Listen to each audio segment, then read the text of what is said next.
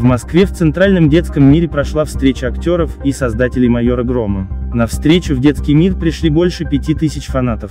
Естественно, все не вместились и в помещении началась давка. Поток желающих пообщаться с майором не стихал. В итоге на место пришлось вызвать полицию. Организаторов встречи опрашивают полицейские. Сейчас мероприятие пришлось остановить досрочно. У Роспотребнадзора возникли вопросы к организаторам, связанные с соблюдением масочного режима и социальной дистанции на проведенном массовом мероприятии. Подписывайтесь на наш канал, чтобы всегда быть в курсе событий.